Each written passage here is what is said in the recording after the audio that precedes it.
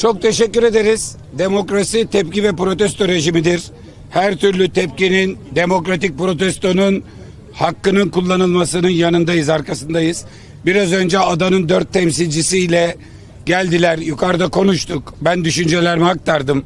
Basın mensuplarına da aktardım. Adanın istemediği hiçbir şeyin yapılmayacağını söyledik. Bugünkü yoğunluk ortadan kalkana kadar bu beğenmediğiniz boyuttaki araçlar yoğunluk e, adadaki yaya yoğunluğu azaldıkça çekilecek. Bu arada te- ama bana saygı duyarsan ben size saygı duyuyorum. Ben ben size saygı duyuyorum. Biliyorum, biliyorum, biliyorum. Şimdi şimdi size şunu söyleyeyim. Yukarıya dört temsilci yolladınız. Geldiler, konuştuk. E, Dört arkadaşınız geldi. Sizi temsil ettiklerini söylediler. Biz de onlarla konuştuk. Müsaade ederseniz ben açıklamamı yapayım. Ben sizin tepki göstermenizi son derece anlayışlı buluyorum. Yukarıda basın mensupları soruları burada soralım dediler. Bakın hepsinin yüzü burada. Hayır aşağıda sorun dedim. Çünkü bu hakkın kullanılmasını istiyorum. Beltur'da konaklıyoruz. Onun iskelesinden karşıya İnönü evine gidebilirdim. Buraya geldim. Basın mensupları dedi ki soru cevabı odada yapalım. Hayır aşağıda yapacağım dedim. Çünkü sizin de görünür olmanız önemli. Bana söz verdi arkadaşlar. Dediler ki tatsız hiçbir şey olmayacak. Ben şimdi baktım burada bir kalabalık var. Dedim temsilcileriyle görüştük. O arkadaşlar yukarı gelmedikleri için aşağıda seslerini duyuracaklar dediler. Ben de bunu ben de bunu ben de bunu doğru buldum. Ben şimdi buradan arabaya binip gidebilirim. Gitmedim. Geldim ki burada bu hak kullanılsın. Siz görünür olun. Görünür olmanıza katkı sağlamaya çalışıyoruz. Yani başkaları gibi arka kapıdan çıkıp arabaya binip gidebiliriz. Böyle bir şey olmayacak. Bundan önce burada bir takım karşılıklı suç duyuruları olmuş.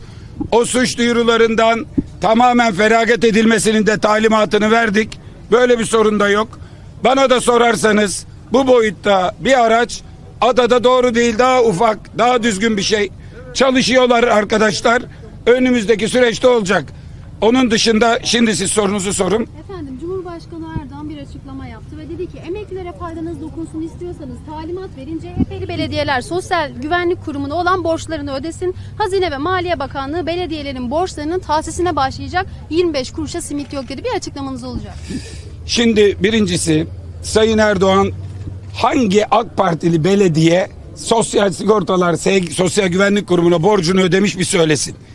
Ellerinden aldığımız bütün belediyeler en az son 5 yıl boyunca hiç borç ödememişler.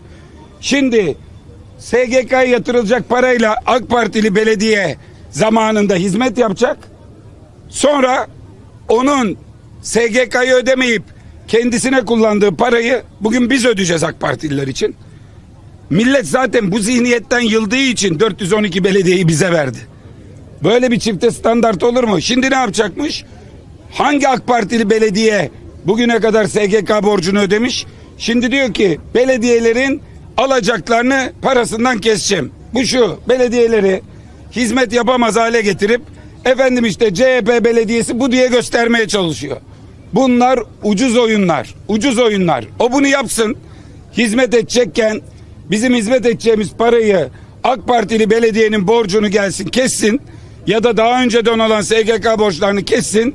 Hizmet etmeye engel olsun.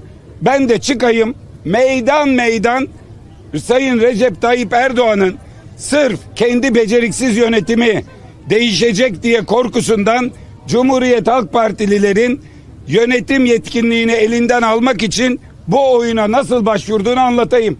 Deyim ki bu enflasyonu düşüremiyor. Biz geliyoruz iktidara gelmeyelim diye belediyelerimizin elini kolunu bağlamaya, yoksullaştırmaya, maaş ödeyemez hale getirmeye, çöp toplayamaz hale getirmeye çalışıyor. Vallahi Recep Tayyip Erdoğan, Sayın Erdoğan şunu bilsin. Kendi ellerimizle toplarız o çöpleri. Bütün CHP'liler yine de onun bu oyunlarına, şantajlarına teslim olmayız. Vallahi çok net bir şey söylüyorum. Her geçen gün millet gün sayıyor. Birazcık seçim sonuçlarından akıllanıp, akıl alıp öğrenip vatandaşın isteğini doğru isteklerini yerine getirmek yerine inatlaşıyor ve bizim hizmet etmemizi engelliyor. Vatandaş bunları görür. Bu iş geçen sefer İstanbul'da vatandaşın kararıyla seçilen Ekrem İmamoğlu'nun zorla mazbatasını elinden almak neyse seçilmiş belediye başkanının parasına el koyup hizmet etmesine engel olmak da aynı şeydir. Bu sefer mali darbe yapmaya çalışıyor. Geçen sefer YSK eliyle adli darbe yaptı. Osmanlı tokatı vuracağım dedi bize. Demokrasi tokatını yedi. Şimdi mali darbe yapacak. Yeni bir demokrasi tokatı yer. Meydan meydan anlatırım. Sokak sokak anlatırım. Sakın böyle bir şeye kalkışmasın. Efendim, Yani bir, biraz önce birkaç saat önce e, karşınıza bir köpek çıktı. Onu da severek geldiniz buraya. Evet. Şimdi ben de tam buradan soracağım. Tartışmalı yasa dün gece geçti meclisten ve Erdoğan da kürsüden şunu söyledi. E, hayvanlar konusunda kimse bize merhamet dersi vermeye kalkışmasın dedi. Ne söyleyeceksiniz? merhamet dersi değil. Ben bir sokak hayvanları sorunu olduğunu ilk günden beri söylüyorum. Bunun sınıfsal bir soruna evrilmesinden son derece tedirginim. Zenginlerin, çocukları okula servisle gidenlerin, korunaklı yerde oturanların görmediği diğer vatandaşların rahatsız olduğu bir sorun var ve buna birileri duyarsız birileri duyarlı gibi bir mesele toplumsal fay hattıdır.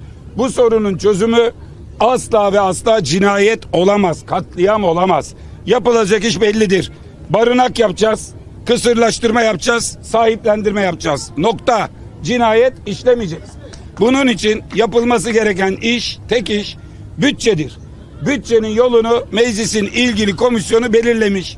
Hayvan hakları fonu at yarışlarından, spor totodan, lotodan, milli piyangodan kesilecek. Hayvan hakları fonu kurulacak.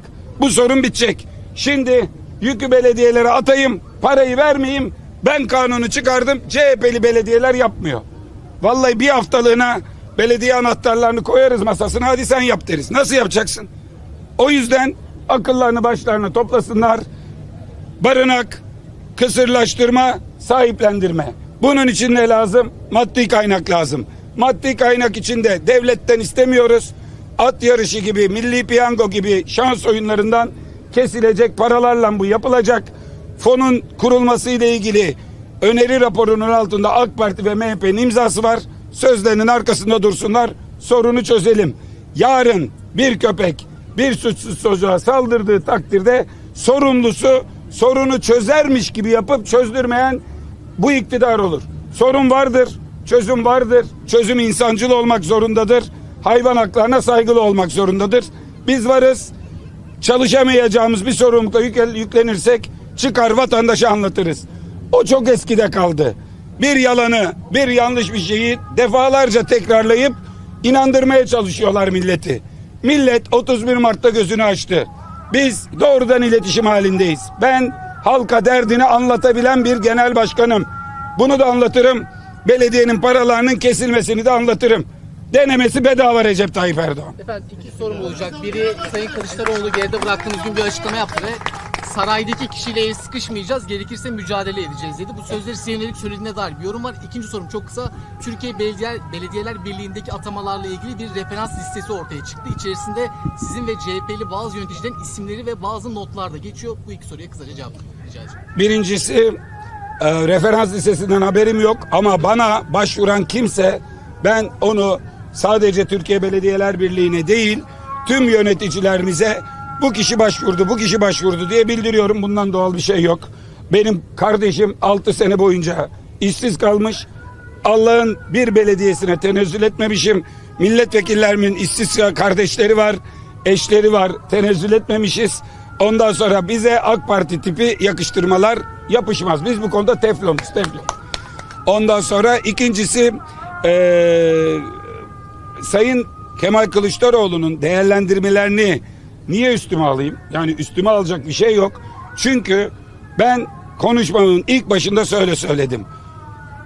Şey Edebali'nin vasiyeti muhalefete değil iktidaradır. Türkiye'nin kutuplaşmasından, el sıkışmamasından, konuşmamasından birinci parti sorumludur. 22 yıl boyunca bunu yapmadı. Anıtkabir'de bile el sıkmadı. Bu laf Erdoğan'a değil mi? Bunu söyledim. 31 Mart'ta ben birinci parti oldum. O yüzden adımı ben attım dedim. Cumhuriyet Halk Partisi artık iktidar partisidir halkın gözünde. Birinci partiye yakışacak işleri biz yapacağız. Kemal Bey hiçbir zaman birinci partinin lideri değildi. Çok istedi ama olmadı. Çok çalıştık ama olmadı. Olsaydı o da benim dediğimi yapardı. Tayyip Erdoğan gibi birinci parti olup ikinci partinin elini sıkmayanlardan olmadık. Kemal Bey de hiçbir zaman zaten birinci partinin genel başkanı olmadı. 10 saniyelik bir görüntü üzerinden bir şeyler. Ha Kemal Bey dışında Kemal Bey adına bir şeyler söyleyen, yazan, paylaşan, eleştiren birkaç arkadaş var. O konuda Cumhuriyet Halk Partisi Genel Başkanı'nın ne yapacağı belli. Nereye gidiyoruz? İnönü evine. Ne yapıyoruz? CHP Genel Başkanı olarak her söyleneni duymuyoruz İsmet Paşa gibi. Teşekkürler efendim. Teşekkür ederiz. Beklediniz de. Evet. Başkanıyla görüşmenizden bu yana gündemden düşmeyen CHP, AKP koalisyonu e, değerlendirmeleri var. Bu konuya dair bir şey söylemek istiyor musunuz? Bu konu gündeme geldi mi görüşmede? Görüşmelerde de gelmedi. Ben milletten muhalefet görevi alıp iktidara soyunan Milliyetçi Hareket Partisi değil bu parti. Millet bize gelecek seçime kadar muhalefet görevi verdi. Verilmeyen bir göreve talip olmak seçmenin mesajını almamaktır. Benim verilmeyen bir göreve talip olmam söz konusu değil. Yapılacak ilk serbest seçimlere kadar ülkenin ana muhalefet partisiyiz. Seçimlerden sonra iktidar partisiyiz. AK Parti ile seçimlerden önce bir ittifak, koalisyon, birliktelik ihtimali yoktur. Milli meselelerde, önemli meselelerde, vatandaşın sorununu çözmede müzakere de ederiz, münakaşa da ederiz. Ama kimseyle milletin vermediği bir vazifeyi üstümde görmem. O MHP'nin işi düştükleri hali ortada. Yüzde on sekizlik parti yüzde dörde beşe düştüyse milletin verdiği vazifeyi yapmayıp iktidara eklemlenmenin sonucudur. Bunu ne vicdanen yaparım, ne ahlaken yaparım, ne siyaseten yaparım.